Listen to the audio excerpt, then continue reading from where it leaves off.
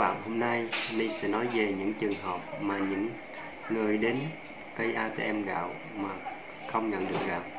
Thì như chúng ta đã biết, cả nước hiện nay đang đồng loạt làm những ATM gạo để phát miễn phí cho người dân trong mùa dịch này để giúp đỡ một phần nào cho người dân đặc biệt là những người nghèo và những người gặp khó khăn cũng như những người công nhân bị mất việc làm vân vân. Thì được biết à, song song bên cạnh đó thì có những à, hình ảnh đã ghi lại và đưa lên trang mạng xã hội. Thật sự nhiều khi mình thấy mình cũng bức xúc với những hình ảnh như vậy. Như một hình ảnh nam thanh niên à, đến cây ATM gạo nhưng không nhận được gạo. Với lý do là ừ, nam thanh niên này ăn mặc rất là lịch sự nên ATM gạo đó đã phát lo và không cho nhận gạo. Thì qua á, cuộc điều tra thì được biết rằng là thanh niên này gia đình gặp rất nhiều rất là à, nghèo nghèo ở quê lên thành phố làm việc do tình hình dịch bệnh Covid-19 nên công ty đã cho nghỉ việc và à, em đó đi làm à, phụ hồ. Do tuổi còn nhỏ nên em ta không làm được hồ nên em ta phải à, đến ATM gạo để nhận gạo. Thì đến cái ATM gạo thì được biết là do những người hàng xóm biết được cây ATM gạo đó đã chở em này đi đến đó để nhận gạo. Nhưng cây ATM gạo à, không phát gạo. Phải nói, đây là gạo đó là do những mạnh thường quân. Tài trợ để giúp đỡ những người đặc biệt khó khăn. Thì chúng ta cũng không nên phân biệt những người đó, ăn mặc hay là um, như thế nào đó. Chúng ta đều nếu người ta chấp nhận người ta đến nhận gạo thì có lẽ là người ta khó khăn người ta mới đến nhận chẳng lẽ có một hai ký gạo mà những người à, giàu có người ta đến nhận làm gì? Thì sau khi clip đó đăng tải thì được biết là em trai mà nhận gạo và không nhận được gạo đó sau khi nhìn thấy những hình ảnh của mình tung lên mạng xã hội thì em ta đã khóc và nói sau khi xem clip đó, mình cũng thấy rất thương em ta.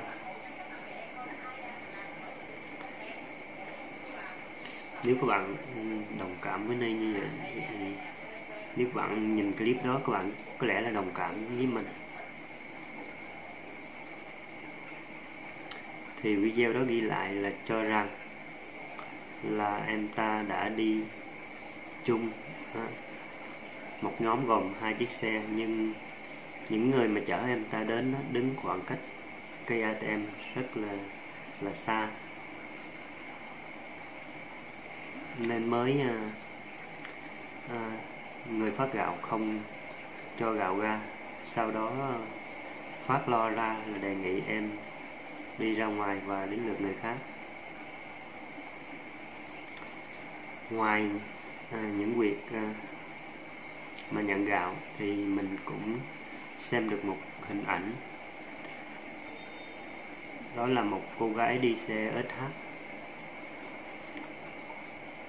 mặc đồ rất là sang chảnh đến nhận một phần quà từ thiện. Nó phải nói là cô này là mới không cho là mới đúng hơn nếu các bạn xem được video đó. Trong khi những người khác đang xếp hàng thì cô gái này chạy à, chiếc SH đến và đi thẳng vào nơi mà phát quà miễn phí. sau đó à, người phát quà hỏi à, sao cô đi xe SH sao lại sang chảnh như vậy sao lại nhận phần quà làm gì phần quà này chỉ dành cho những người nghèo à, những người đặc biệt khó khăn nếu cô cảm thấy mình đủ khả năng thì không nên nhận. Và cô ta cho rằng cô ta xe đó là của mẹ cô ta. Cô ta chỉ là sinh viên nên cũng không làm được ra tiền nên mới đến đây để nhận. Mình thấy clip đó có phần hơi vô lý của cô gái này. Nếu mà là một sinh viên, chúng ta phải có ý thức chúng ta đến đó là chúng ta phải xếp hàng. Thì đến lượt mình thì mình nhận. Cô gái này sau khi đến đó thì ngang nhiên đi thẳng một mạch vào mà chỗ phát phần quà miễn phí. Như vậy là mình thấy không hợp lý. Thì được biết cây ATM gạo, những ngày gần đây thì cả nước đang làm rất là nhiều cây ATM gạo cả những vùng sâu vùng xa để cấp phát cho những người dân và những người à, gặp hoàn cảnh khó khăn để vượt qua đợt dịch à, Covid-19 này.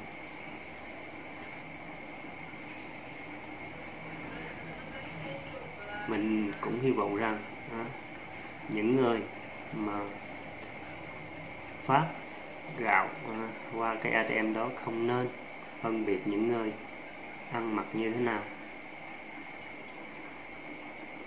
Và đi xe gì?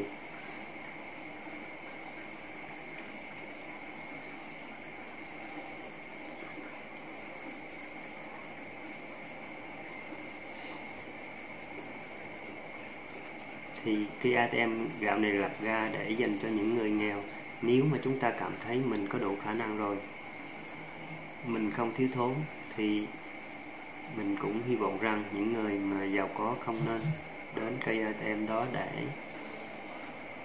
lấy gạo.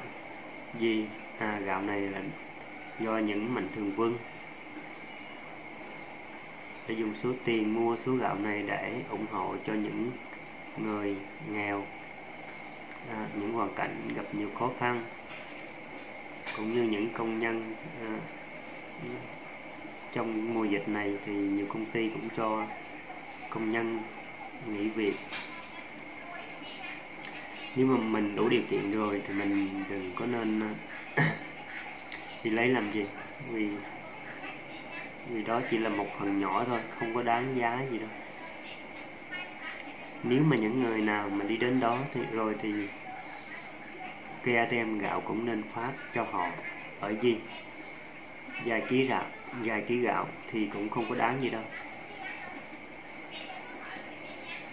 Thì song song mình sẽ nói với lại à, về em trai lúc nãy mà mình nói em trai mặc áo đen.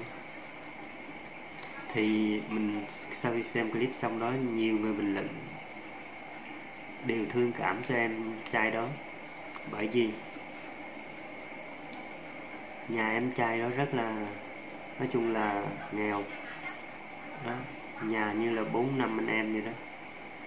Mà em lên đây làm, lúc trước thì làm công ty, sau này công ty do tình hình à, dịch bệnh hiện nay nên công ty cho nghỉ. Nên em ở trọ. Sau đó là em ta làm hò. Làm hò xong sẽ em ta làm không nổi nữa, nên em ta nghỉ. Đó do không có tiền để tiêu xài không có gạo ăn nên em ta mới à, được một người ở, ở gần đó biết được cái ATM gạo sau đó chở em ta đi để lấy gạo. Nhưng đến đó thì em ta không được lấy gạo. Nhiều người đồng cảm và thương cho cái cái em bé cái em đó đó qua bình luận. Qua nhiều bình luận rất là đồng cảm luôn.